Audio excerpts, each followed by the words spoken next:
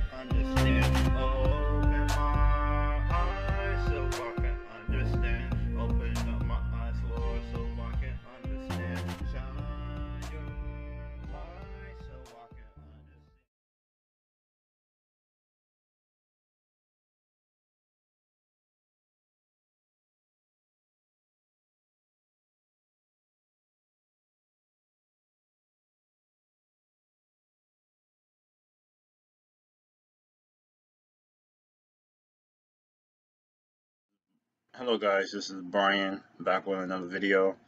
And this video um, we're discussing um, about why it's important that teens listen um, to the parents. And you know, it's very important because when we listen to our parents, we're able to listen better also to our Heavenly Father who loves us. You know I mean? Our parents love us too. And Heavenly Father takes things, has extra things that He can provide for us, you know? As we listen to our parents and taking in their wisdom so that way we can live a long life.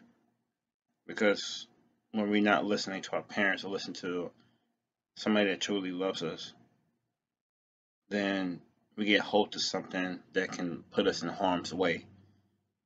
And it's so important that we we listen, you know, listen and also take in that what is going to help us along the way. And let's get into prayer before we get started.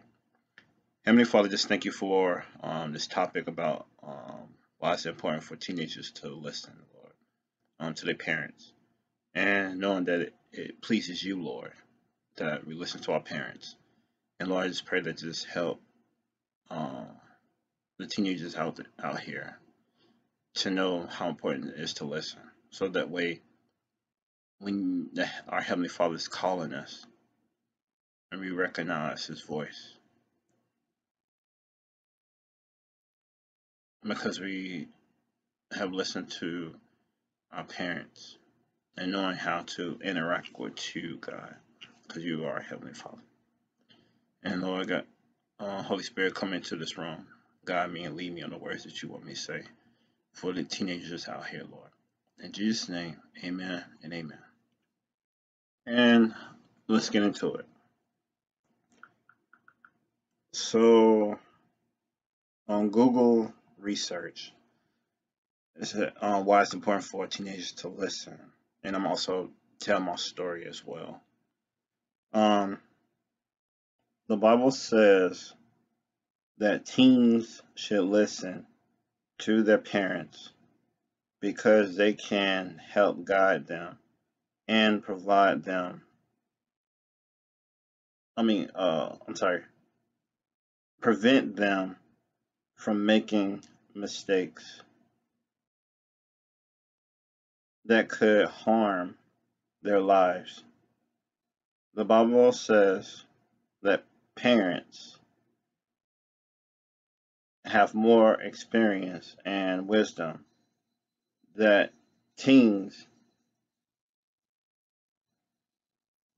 that teens and that they uh I'm sorry and they love their children the most. I'm gonna read that again. If you hear bells in the background, uh, it's just a um, cat. Uh, she has a bell on her collar. Let me close this. I'll read it again. Um, the Bible says that teens should listen to their parents because they can help guide them and prevent them from making mistakes that could harm their lives.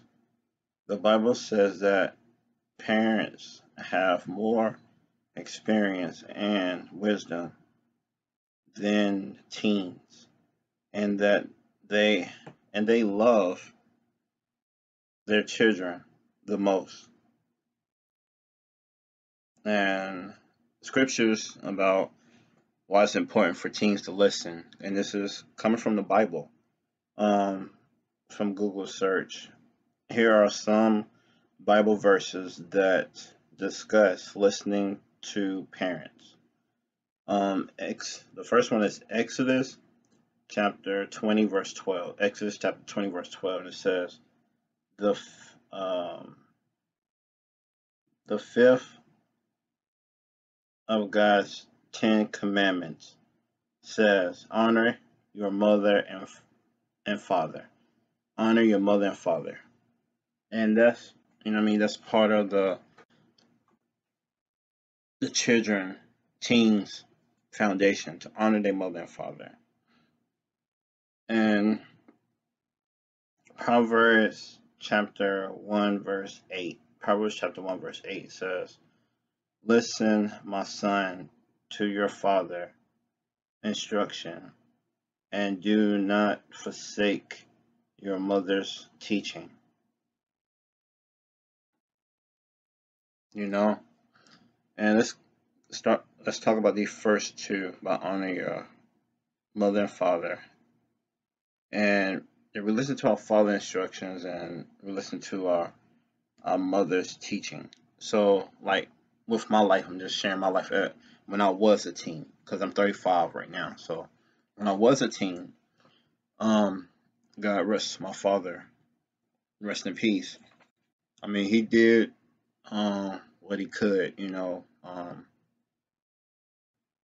we seen each other here and there, but I, uh, our relationship got better before he died, and and I'm thankful for that. So, growing up, I grew up with um, I grew up around women. You know, I mean, my mom and two grandmas. Um, I didn't get a male figure in my life until I was 16, and that was my pastor, Pastor Kevin Aldermello. So we never know who is going to be in our life, you know I mean, that truly loves us um, and wants to protect us and do the right thing by us because they want to see us grow. Because it could be your mom, it could be your dad, it could be your grandma, you know I mean, somebody that's that's giving us the instructions, that wisdom, you know. Because I remember when uh, with my mom and about what it talks about uh, not forsake your mom's teachings. So one thing that always stuck out to my mom was to take care of my sister no matter what. Um, and also um, when I was like knee high, my mom used to take me in Duke Energy like to pay the bill. And I look around, I'm like the only kid around that's have a Duke Energy bill ready to pay the bill. And um, my mom had me doing that every single time. And to this day, you know, I don't have trouble paying bills. Because uh, one thing my mom always told always told me, take care of your bills first. Then do whatever you have left. Then do what you want you take care of your bills first, your basic things, you know, the the um the the rent or the mortgage. You take care of your lights, water, gas, all these different things. That's the basic needs for as we have a roof over our head. And we put some money back to save. Then whatever you got left, you, you do what you want. Unless you, you know I mean, you take care of your personal needs, your get make sure you get deodorant, body wash, and all that good stuff, toothpaste and all that. Making sure you get that, and you put money back, and then you do what you want. And since I've always been doing that, of paying my bills first, then making sure that put money back to save, and then also, and then what I want to do with the rest, you know and I have not had an issue because my bills have been, you know, I mean, done on time. I mean, here and there, I mean, you're gonna have mistakes. You're gonna that be like, oh man, I can't pay this right now. You know, it's life. Um, but you don't, you know, I mean, don't let it get you down. Um, Ephesians chapter six 2 to 3, it says, Honor your father and mother, which is the first commandment, with a promise, so that it may go well with you, and that you may enjoy long life on earth. So when we honor our mother and father as a teenager, that's putting a roof over our head. And they're working hard as they can to provide because they, they doing it with love. You know, smiling and happy when you when you was a baby and still smiling and happy as you continue to grow. And it's important as teenagers that we listen to our parents because so that way, because of the wisdom that they have of what they've been through, yeah, we're living in different generations. But a piece of that wisdom will go far in our life as we have listened to, to a mother, a father, grandparents, our aunts or uncle, just giving the instructions and guiding us along the way. But when we trying to sit there to do what we want to do, and we're going to get burned. Then we're coming back to our parents saying, I'm sorry. Because I remember when I was 16, just wanted to do what I want to do. And I remember um, when I was, I, we skipped school and when to go smoke. That's when I, I was smoking, but I don't smoke no more. And skipping, skipping school and uh, without a care in the world, making a making that choice to do that. And you know, when our parents be telling us to not do certain things because they don't want us to go down a road where it's going to cost us. And we have to own up to our mistake. You know I mean? I had to own up my mistake. You know, because it took me a while to ask my mom for forgiveness. Because, you know I mean? I put her through that hurt because, I mean, in her eyes, she probably she never thought I would do something like that. And our parents be surprised, you know I mean, the things that we, we think that they don't think we know we're doing. But they watching us.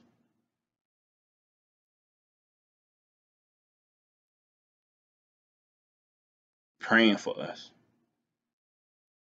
You know? Because as a um, teenagers, don't think that there's nobody out there that loves you. It's people around you that loves you. It's people around you that's praying for you. You know, you, you're better than those pills. You're better than those alcohol.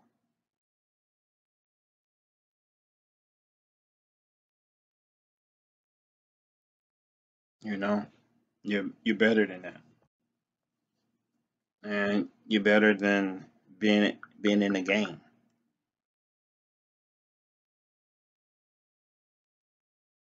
And another part on here on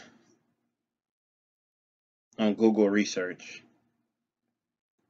Some ways teens can honor their parents includes giving them their full attention when they are speaking. You know I mean? We, we give, as a teenager, you give your parents or somebody that's trying to give you advice because they, they see a road that you're going down, even though you don't see it. Because you might say, oh, you don't know me. But we, you don't know what our parents went through because they haven't told us, you know. But if they're trying to help you to not go down that road, they might have went through similar route, but not the same thing. But as we just listen, and it will help us not um, not to storm out the house because I, I remember doing that as a as a teenager. I didn't want to hear what my mom wanted to say and storming out the house. But who is it hurting? Yeah, it's hurting both of us, but who is going to hurt the most? Us. Uh, you know what I mean? As the as the teenager. It's going to hurt our parents and our grandparents, whoever we they're trying to get our attention. But the choice that we make is going to hurt us more because we're making that decision to do whatever. And the next one, respecting what they ask them to do. Respecting what they ask them to do. We respect our parents. We listen to our parents. We respect our parents and what they asking us to do. Because those instructions, those teachings,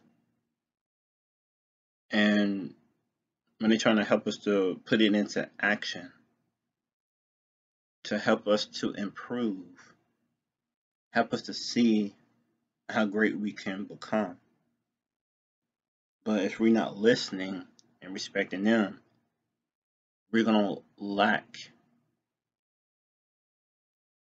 those things that we need to develop because our parents has those wisdoms our grandparents has those wisdoms wisdom so that way we can so we can grow so we're able to grow and that's just what our heavenly father is we not listening to our earthly parents, we're not going to listen to our Heavenly Father. If we're not if we're not um respecting our our parents, we're not going to respect our Heavenly Father, you know? Because what we doing to our parents, we're going to do to our Heavenly Father. And if we showing love to our parents, respecting our parents, we're going to love God and respect God.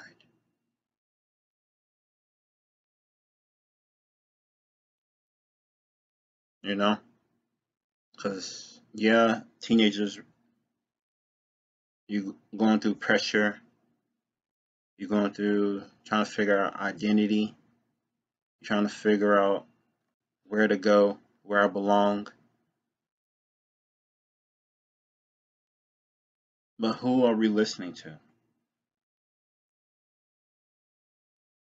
Are we listening to a home at home? Are we listening at the streets? Are we listening listening at church? Who are we listening to? Because the decision that we make it's on us. And we're too amazing to go down a road that we don't need to go down.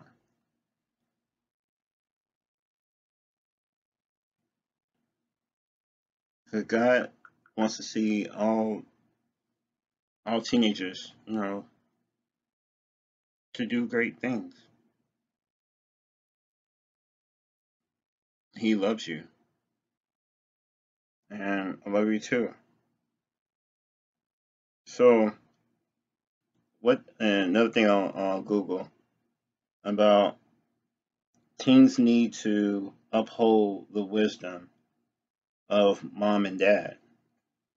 So, as teenagers, we need to hold on to that wisdom, the wisdom that mom and dad gave, or the wisdom that the grand our grandparents gave. Because you know I mean, not everybody has um, their mom, or not everybody has their dad. Or, you know I mean? But the person that God has put in our life that's truly want the best for us.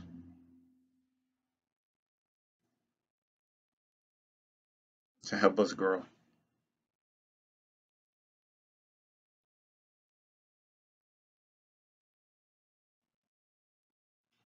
And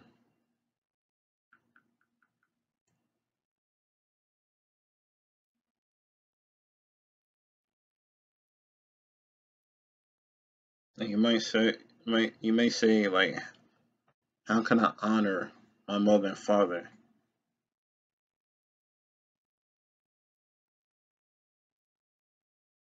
How can I when I'm going through this situation, going through that situation? They're not here. They abandoned me.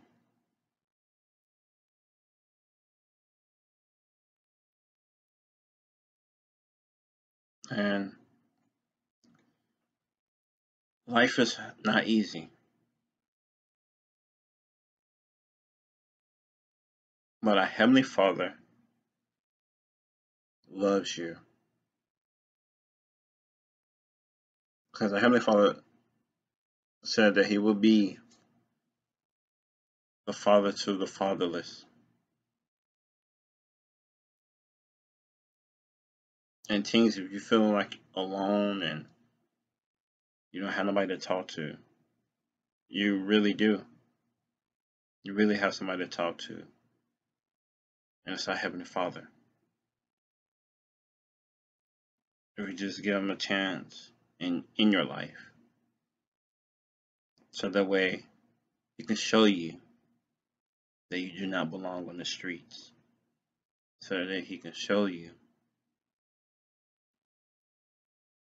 how great and wonderful that you are, wonderfully made that you are, and help you to understand your identity.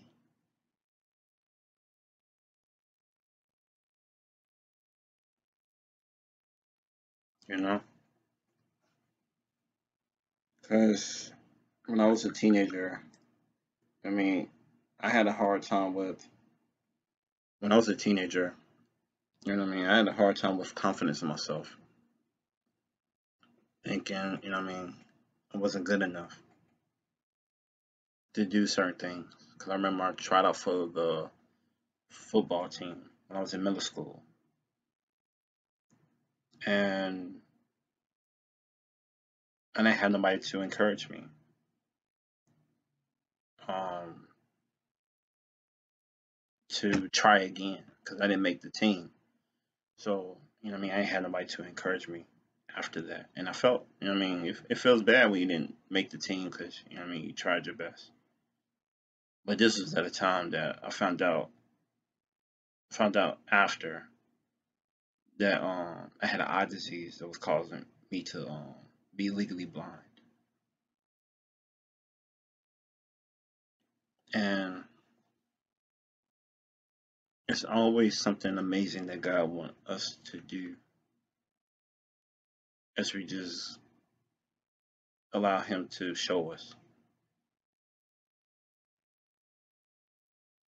You know? And I remember um, being a teen, um,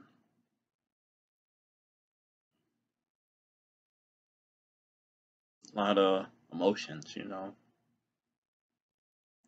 Um, just trying to figure out life. Because I remember when I was 14, I didn't want to, I didn't want to be on on Earth because I felt like I didn't belong. But it's like when you listen to people that loves you, your your mom, your dad, your grandparents, and you get to and you hear from their voice of, you know, you are special. You you can become stronger. This is not the way.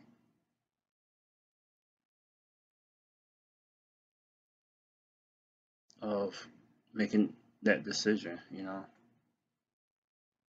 Because when I gave my life to Christ when I was 16, you know, that changed my life. I got to understand who I am as a child of God. Was it easy? No. Because when you become a child of God, um, if there's any teenagers out here that want to become a child of God, you know what I mean? It's not going to be easy because your friends start looking at you differently. Because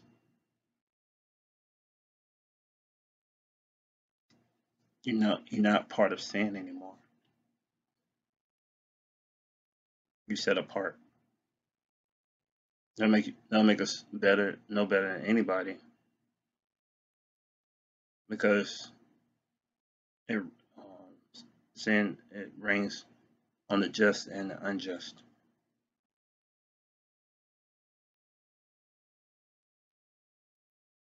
But it's just amazing when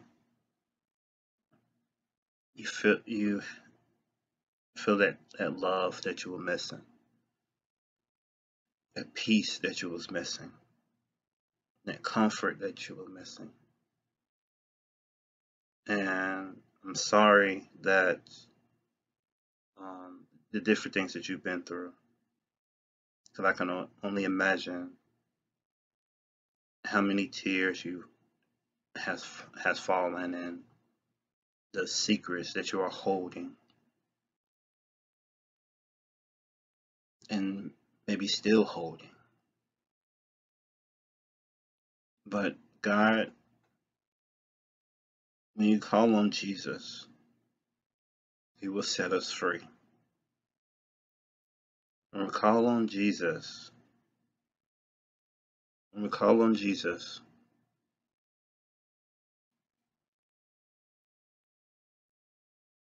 He will answer. Because when suicide trying to sink in, no, it's not the way. Because you have a plan and purpose that God has placed in your life. Because look at me, if I would have killed myself at the age of 14, I would not be doing none of this, having the passion to do none of these things, making videos and encouraging people and um, I had never saw my daughter or be married, you know, if I would have took my life. And that's what the enemy is here for, to kill, steal, and destroy because he knows the path that is planned for our life.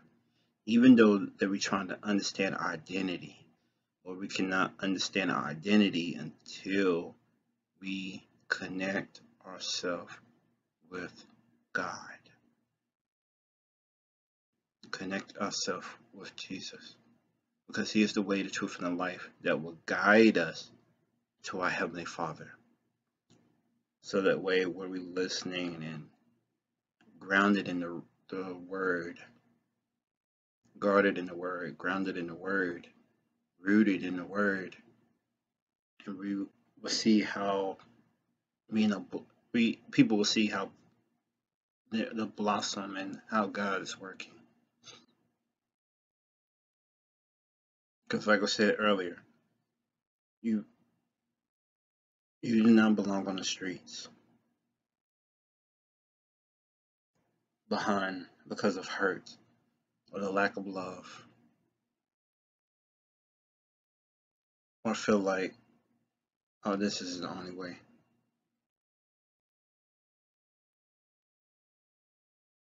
God has better plans for your life.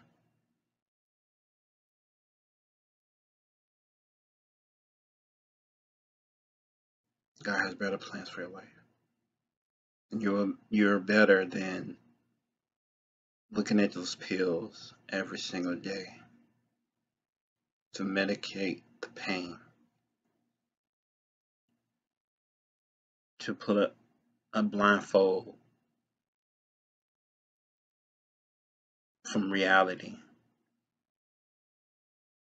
To escape from life, escape from problems, escape from responsibility.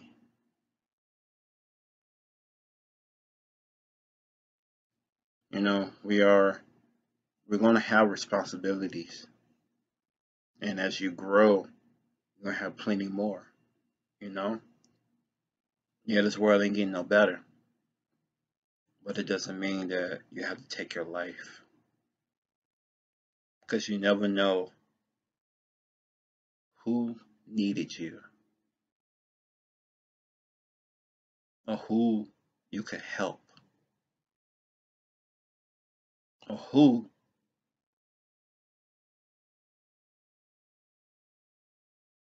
you never know. If we focusing so much on, oh man, I gotta get out of here. I gotta get out of here. I don't want to do this no more. But that's the enemy wanting you to put expired date on your life. That's the enemy. Call out on Jesus. Call out on God. Talk to your family.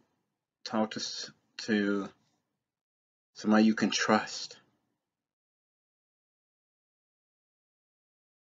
Because in God's eyes, your life is valuable.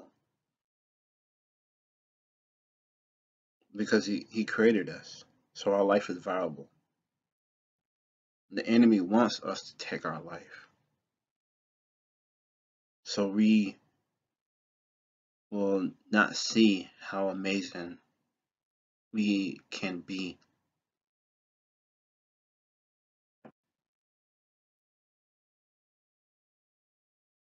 And because uh, life is too short, you know. And it's so important that we listen to our parents, we listen to our grandparents, we listen to our, know, I mean, our mentors, we listen to the people that truly loves us, that has that advice that, you know, I mean, that can stick, you know, just like the Word of God, it sticks once we get reading it. It sticks to our mind and stores in our heart. So when somebody trying to give us advice, true advice because not everybody has good intentions. But when we can store good advice, just like with me, I store that paying bills first and take and I can do whatever else um, I can do what else with the money responsibly. I store that, hearing it from my mom, going to my short term memory, connecting with my long term memory, and now connecting with my heart to store for long term. And that's what we need in life is that long term advice, not just beating around the bush, not just um, stuff that's not going to stick.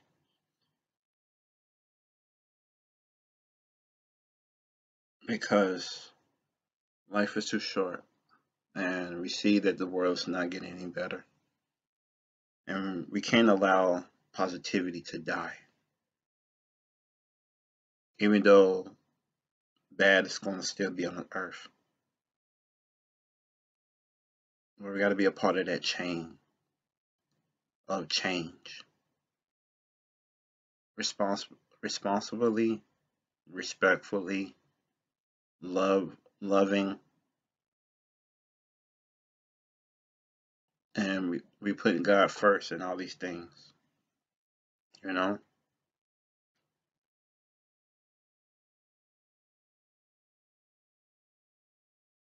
And if you don't have nobody in your life to to listen, to give you that advice, call on God, call on Jesus, because you're not alone. Because in His Word it says that He'll never leave us or forsake us. But we just gotta call on Him. That we need help.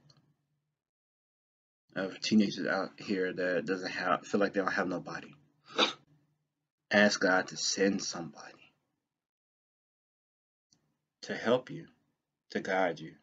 Because He He will help and guide when we call on Him. But we have to to believe and trust on Him. And if want to give your life to to Jesus, to God, and want Jesus to come into your life, just repeat this after me. Heavenly Father, I just thank you. Jesus, come into my life. I repent of my sins. Lord God, I believe that you died on the cross and rose on the third day. That you died for sin, for our sins. And I believe in you. Lord God, transform me, renew me. I will follow you all the days of my life. And me pray in Jesus' name, amen and amen. And if you prayed that um, prayer, you're saved. And this road is not going to be easy. But you have to turn away from your the wicked ways, doing things that you can't do anymore. That's not of God. Because God, He doesn't control us. He's not to force somebody to follow. But when you want to follow, trust me, He got you. Because if He had me when I was 14 and had my mom to intervene because I was going to end my life. But now look at my look at me now. Doing the things of God. And it's just like with you. You can be doing amazing things when the time comes.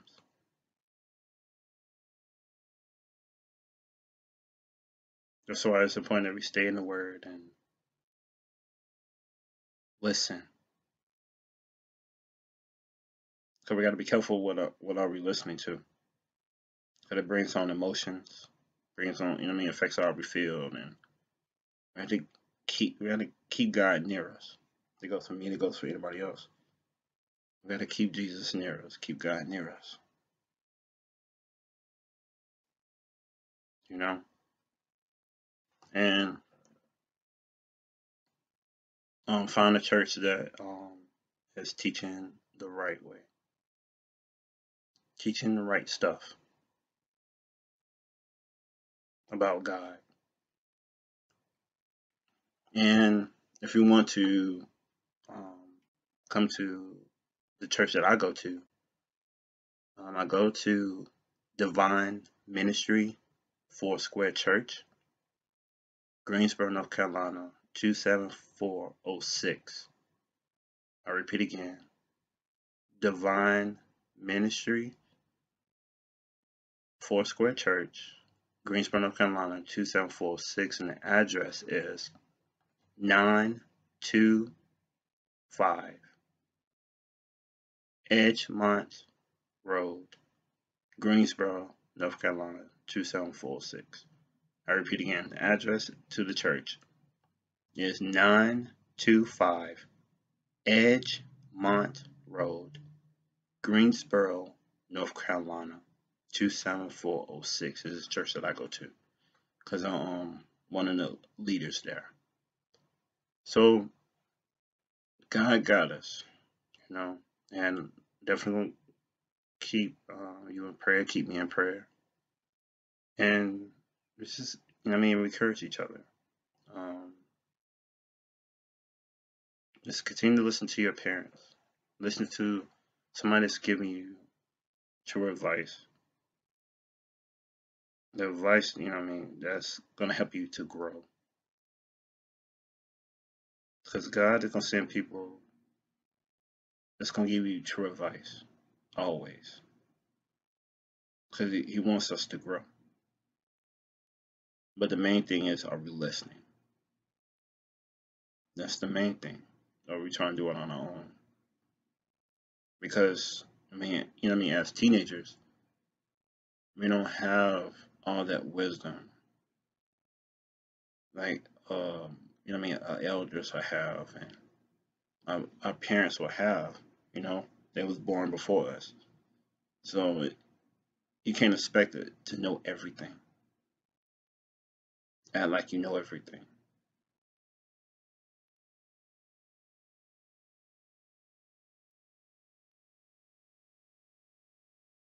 And when your parents are listening to God,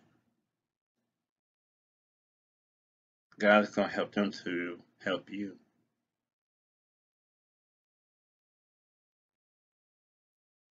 Because, you know I mean? The enemy wants us to not listen to our parents so he can get us to go down a different road, get us to go on the streets, get us to do these drugs and get us off the, the plan of God. That's what the enemy wants. But we are stronger. We are amazing when we stay in the hands of God. Staying on the instructions that our parents gave, our grandparents, people that gave us true advice to stick.